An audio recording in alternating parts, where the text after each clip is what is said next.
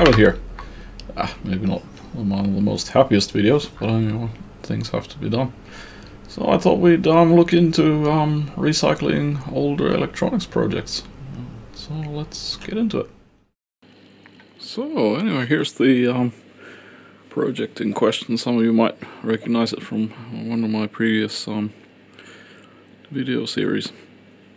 But anyway, now it's been just standing without being used for quite a long time. And, um, you know, one likes to have these projects and, and things, but um, really, I mean, the matter of the fact is that once one's actually made content or done the experiment, um, then um, it really uh, has no value to keep it together, which is a bit sad because one would actually like to have this as a working unit, but um, yeah, have to face the reality that it's actually sometimes good to go and look at one's older projects and um, and really take a serious look and see if one could actually um, put them to use, repurpose or or similar.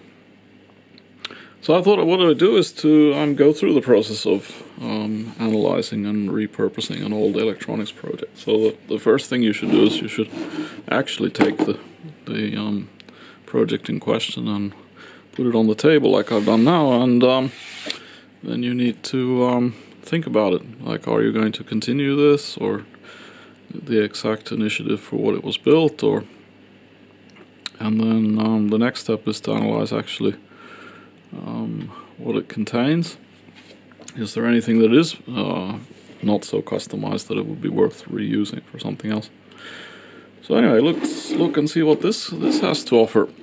So um, here in the central brains it has a um, Arduino Mega and then it has a um, actually a a hat here which I repurposed this is actually for more for servo motors but it had a bit of a an area for prototyping so with the um, extensions for the connector so that's why I used it for this project so not specifically used for what it was supposed to be used uh, what else does this? Oh, this has a relay unit with four outputs used to be used to control fans.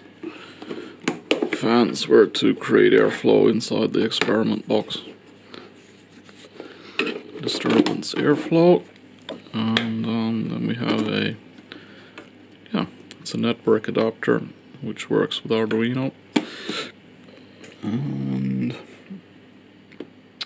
oh, then we have an SD card reader or reader writer so for these larger SD cards and then this is a custom built level shifter since I actually didn't have level shifting um, components at home when I built this so but now actually this is obsolete because I actually do have single directional bidirectional um, uh, level shifters to adapt 5 volts to 3.3 volts and the other way around and then what else does this contain? If we turn it around, yeah. Ah, there's a real-time clock backed up with a battery because that Arduino lacks a real-time clock. So we can salvage the battery or the real-time clock. And then it has, ah, then it has one MOSFET here which was to control the internal heater and then there was the um, gate booster for um, the MOSFET. Uh, because MOSFETs like to be controlled with a little bit higher voltage on their um, on the gate. So um, I built this homemade level, or the homemade um, what they call usually they're called MOSFET control boosters or similar. So so I built a custom version of that, and of course it has some fans, and then yeah, because one of the one of the things that it was doing was measuring temperature, so it actually has temperature sensors. Oh. Let's see if I can get in here. Uh, maybe I have to turn it around again. Get into the box. So now we're into the box. Can't remember what that's for, but it's got a temperature sensor in it. And then here it has a heating block basically borrowed from a 3D printer system.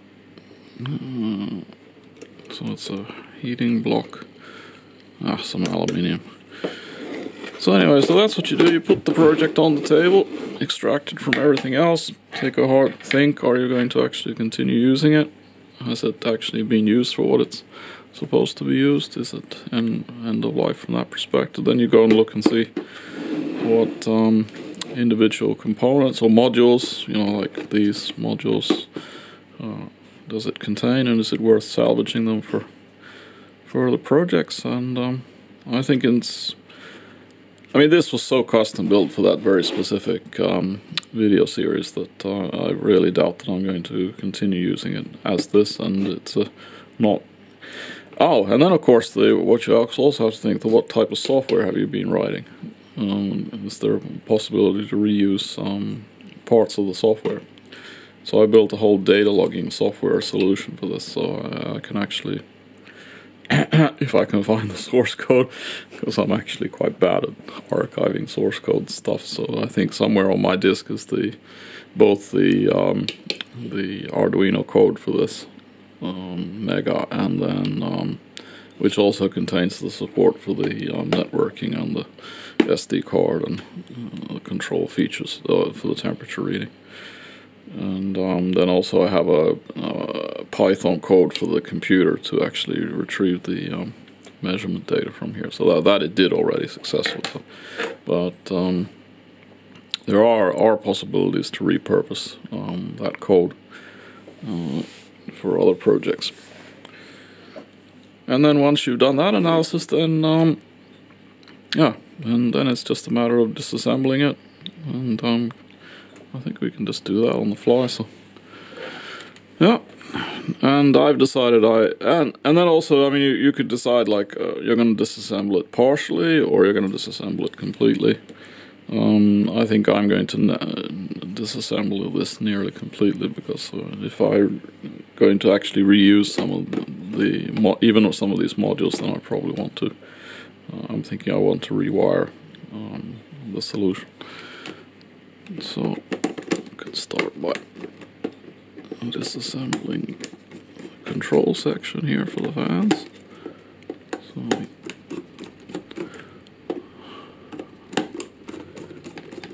disconnect all this stuff. And then of course, you know, wires are quite good to keep.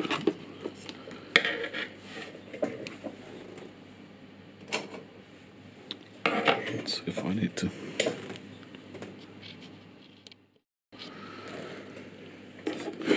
and I think I I screwed it to the to the top, so I have to actually get it under the cover to.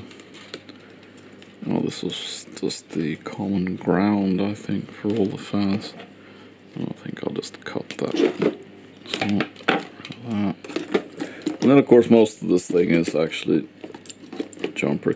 Oh, yeah, and one hint was that um, if you're going to disassemble like an older project like this, it's good to photograph it completely from many different angles. I mean, just in case you want to have a hint how things were connected for, for future. Because I didn't actually build a um, schematic design for this. This was just basically out of my head. So um, it's good to, photo, uh, like I did, I took lots of photographs from all different angles so that if, if I'm interested in some particular aspect, then I can go go and um, rebuild it. as I said, this this level shifter solution, which actually works very well. I mean, you can build level shifters yourself. I mean, it isn't it isn't mandatory to buy buy circuits for them, but I mean the level shifter circuits are so cheap that it, it's actually so um, yeah, probably just yeah. Say that's redundant. And it was for this SD card. This one runs on 3.3 volts. Oh, separate out all the cables. So of course, if you use this type of assembly, then it's actually quite easy to uh, disassemble and uh, repurpose. Because there isn't that much that's soldered together. And um,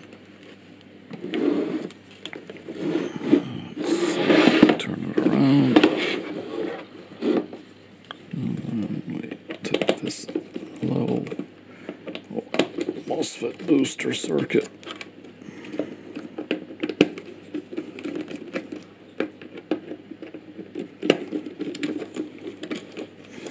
I mean, some kind of a MOSFET gate booster is actually needed. If you're going to control higher currents with a MOSFET, then you really want the MOSFET to uh, to get triggered ah, yeah, this was a cool. This is my very custom heatsink solution, heatsink fan solution.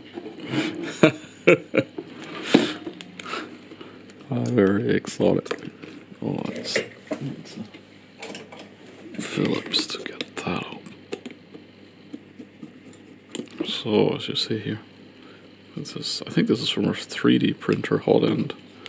Cool, and then I just put some holes in it, couple of screws, and then bolted it on top of the very, very bad heatsink heatsink. But you know, that's that's the way you build projects. You know, if it's not, if it's going to be a one-off, one-off uh, experimental setup, then I won't really spend a lot of time building dedicated circuit boards or anything. There's no point. Well, let me get some more, more wire.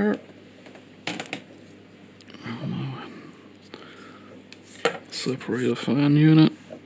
And those wires out.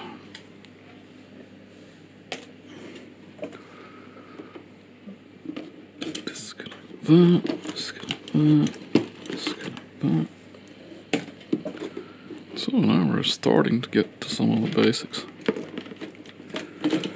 And I think this circuit board here was more to signal distribution and power distribution, so it's just like you see it's uh, just a bunch of this I found useful make make some of these cards. So as you see here's a, like a signal distribution so you can actually plug this into something and then it's all like parallel connected together. And then here the same thing. That's for like earth and distributing earth and and, uh, and 5 volts so this could actually be reused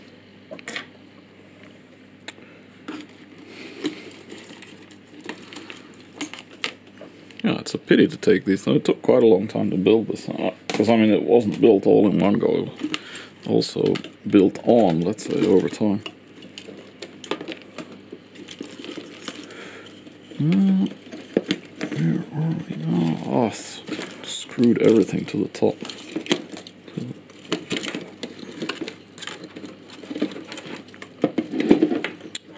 So, take the module out. That can be reused. Connection wires. The real-time clock, also just running on headers.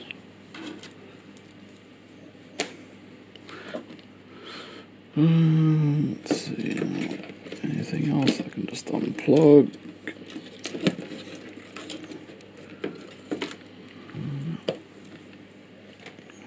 Oh, it's just wires extended.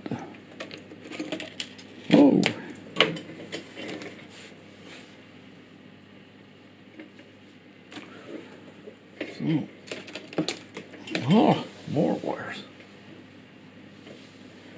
Almost falling now. Oh, so now it's starting to look a bit more, more clean. Oh I think we. Or did I screw it in? Or what did I do with it? Have to unscrew this, I think. Don't exactly remember what I did here. Doesn't coming out. Oh.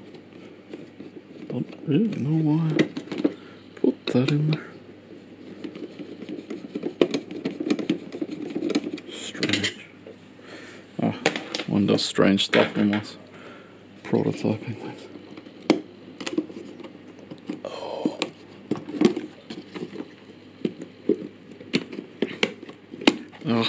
Was it the... Ah, okay, it's got an actual mega base but then um, it was probably to hold it all in place.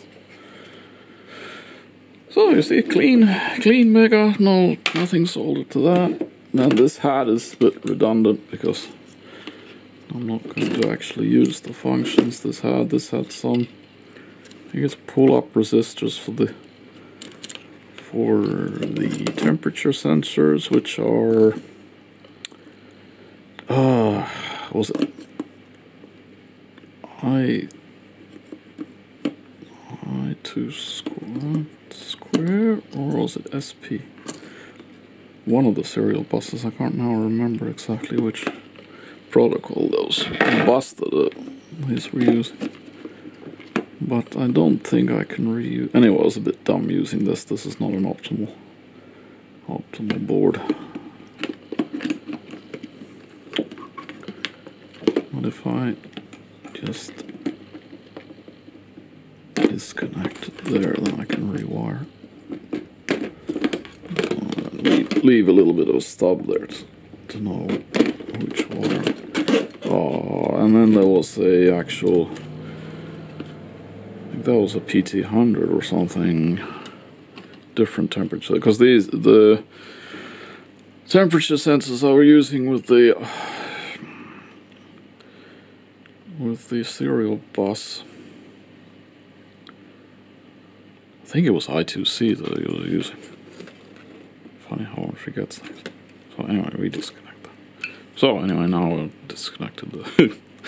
The the servo board that wasn't actually used for servo boarding.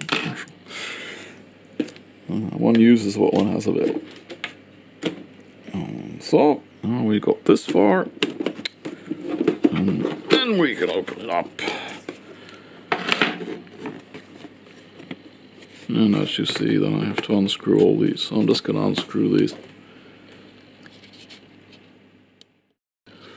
So that's the cover empty. A bit dusty. And it's got some holes in it now. And then, um, oh, it's just the internals left. To disconnect the fans, unscrew those. I can actually just do this, take the, one of the temperature sensors out. Aye. Just to show, so they're all this type temperature. These are really nice, but they only work with um, ambient, uh, like ambient realistic temperature. So they're not, they're not very useful if you have super cold or or unreasonably hot. Then these won't work. But um, for for general purpose, the, as I said, the I think it was an I2 square. Just can't remember, but I think it's I2 square. Uh, so it's digital, or you, you you you digitally read the temperature from these, which is nice. So you don't have to actually do any, um, yeah, like this one with the PT sensor, then you need to do the analog to digital conversion. Uh, well, these are direct digital. So that's one side. Oh, I don't really know why I built this. Can't remember.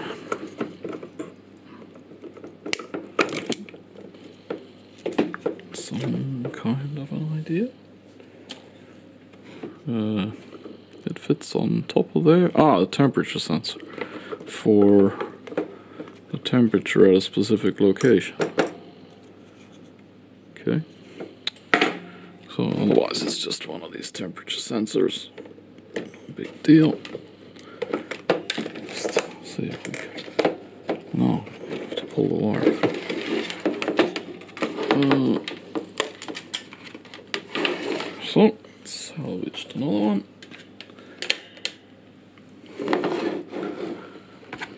And um, well, this is heat heat shrink tubing on all this, so I have to try and cut that.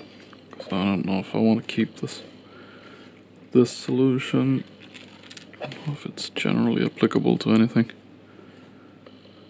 of course, if I wanted to measure temperature through something, this is aluminium, so it would conduct the heat, the temperature.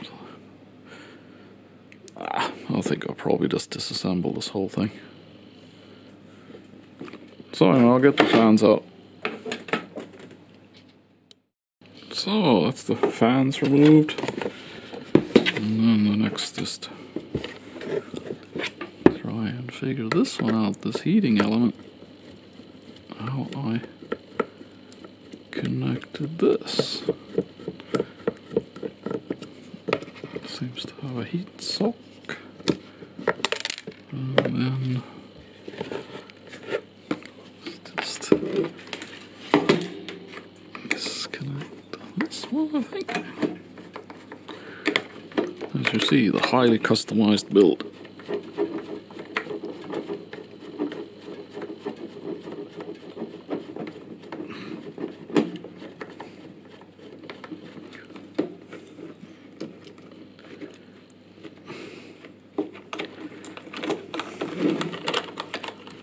Okay, now I think it's going out.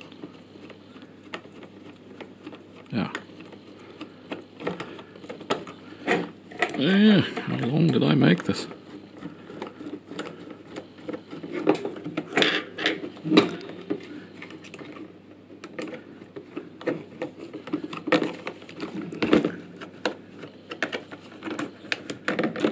Ah! Darn. Ah, thermal paste. Gotta clean that up. so, I've got rid of it. Most of it at least. So that's that.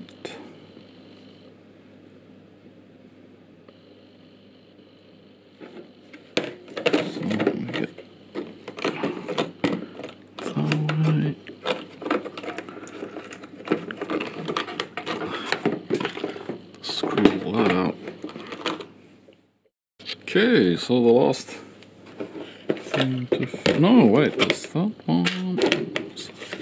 Not. Okay, I need to figure out how I got this in.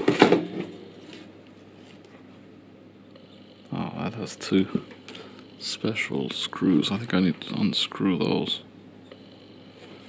to get this off to pull it through out through that hole. Or I will have to open up these wires and pull it through. That might be the easiest.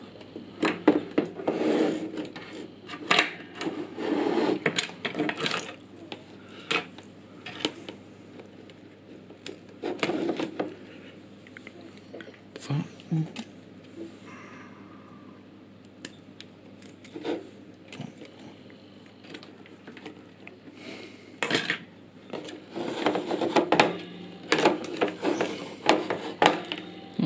Ah, here you see this was built for a completely different project, but the print got a little bit um, had a level shifting problem. So then I just yeah. So keep your old crappy prints, some, or at least sometimes they are actually useful to be readapted for. So now that's the standard 3D printer heating block. Got lots of those. Don't know if I'll reuse it. And then it was to extra. I think I. And yeah, there's another temperature sensor at the end of this. So I actually have to. Um, no, but the wire comes through, of course, now I disconnect it. So, bingo. So the question is would I ever have a usage for that kind of a connected heat sensor? Not really sure. I don't think so, so probably. Yeah, I think I'll disassemble that. So anyway, this was the whole from the disassembly then. So um, we got a box, uh, a couple of can reuse temperature sensors, an Arduino Mega board. This one here is partially used, so I don't know if I'll be able. Have some circuit boards here. So I got a level sh uh, level shifter implementation a MOSFET booster and then this um, signal uh, supply divider. Can reuse that. So that's just a set of relays. Uh, we got the Ethernet adapter. We got the real-time clock. We have the SD card adapter. We have a couple of fans, actually three, and then we have the actual MOSFET module. And then, in addition to that, salvaged cable. Uh, wires. You know, different types of wires. You know, it was the block heater, but that's, uh, I don't know if I'll I've got lots of those. Um, yeah, and plus software, of course. So uh, there are software modules that, um, that can be used, and then it, then there's uh, yeah, some assorted weird adapted hardware probably can be repurposed for something else. Again, in the future, if one builds something. So anyway, that's um, both the sad and the positive side of reusing um, or having to go go through one's old electronics projects. That um, sometimes it's actually now one just has to face the cold facts that one can't keep them forever, especially if they're not being used like six months plus. Because one can actually salvage all these modules, and if one builds modular adaptive solutions, then one can actually, um, yeah, disassemble those and reuse them. Yep. So anyway, I hope you found this informative. Um, please consider subscribing. Hit the like button if you think the video is worth it. Um, merch is available. Or if you'd just like to buy me a cup of coffee, that's also possible. The links are in the comments. Uh, all the contributions will go to developing the channel and building more projects. And uh, I'll see you in the next one.